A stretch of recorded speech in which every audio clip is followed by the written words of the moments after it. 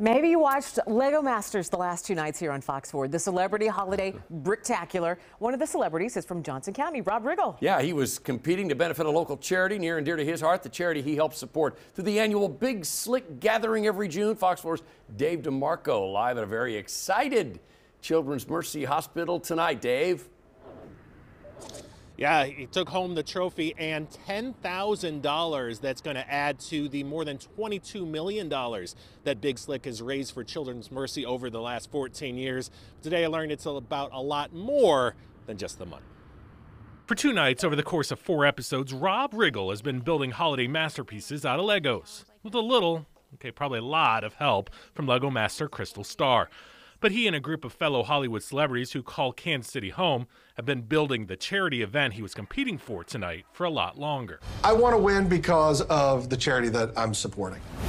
We created this event every year called the Big Slick for Children's Mercy Hospital in Kansas City. That's my hometown, and it is an amazing hospital. When Rob says that kids' lives are saved every day, he is so accurate. We actually diagnose a child with cancer, unfortunately, every other day at Children's Mercy. So the dollars raised through Big Slick go to touch those children, their care, and their families. Since its inception in 2010 with the Riggle, Jason Sudeikis, and Paul Rudd, Big Slick has grown, adding hosts Eric Stonestreet, David Koechner, and most recently Heidi Gardner for celebrity softball and a gala that raised a record $3.5 million last year.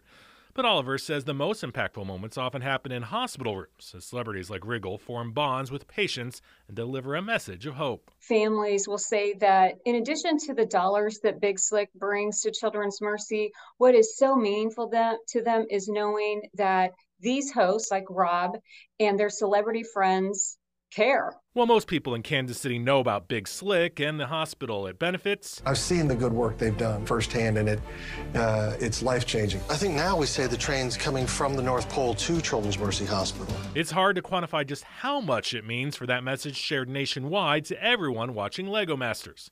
The show, I'm told, is usually pretty popular among children in their hospital beds.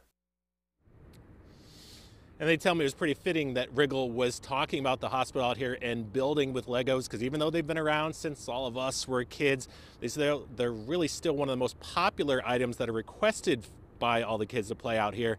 And though you can see it's pretty festive out here tonight, they also tell me that they always refer to Big Slick Weekend, which is going to be at the end of May, beginning of June next year, as one of the biggest holidays here at the hospital. Certainly is. And yes, yes, the little kids enjoy Legos, and apparently a big kid named Rob Riggle did too.